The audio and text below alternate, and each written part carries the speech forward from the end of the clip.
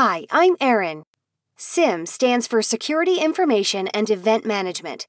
In other videos, I've described how what every organization needs is timely, accurate security events notifying the right people as soon as possible. That is the purpose of a SIEM.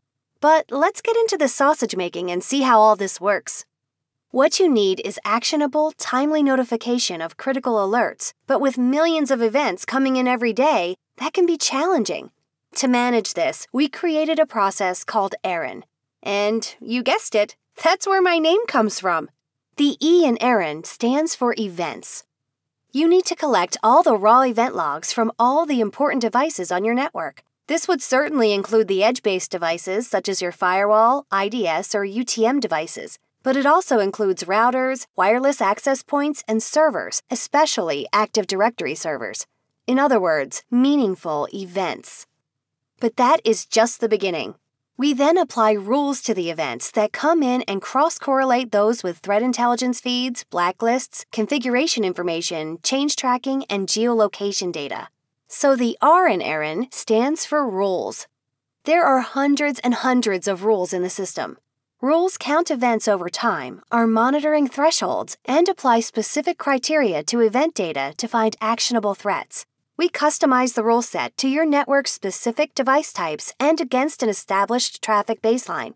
We tune these rules continually based on changes to the threat landscape and changes to the environment, as well as apply new rules based on new threats. We tune these rules and create brand new ones continually based on new threats and changes to your environment. When rules fire, they create incidents. Incidents are rated based on a criticality setting that is also custom tuned for your environment. Based on the criticality, an incident may be simply logged, it may be written to a report to be viewed later, or it may require immediate attention. As you can imagine, some incidents are interesting, which belong on a report. Other incidents require action, which means they should generate an immediate notification. A custom notification policy is then followed to ensure the right person or teams get the information immediately.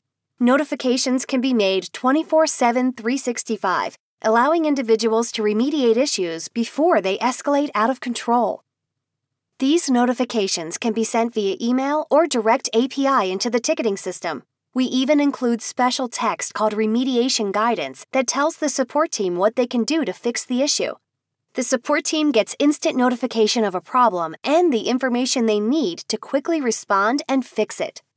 So, our errand process takes in millions of events, cross correlates and analyzes the data with a ton of other data, creates prioritized incidents, and then generates notifications on actionable incidents that get sent to the proper team immediately. That's a lot of information on what a SIEM is and how our SIEM solution works. To learn more, please visit our website or contact us today.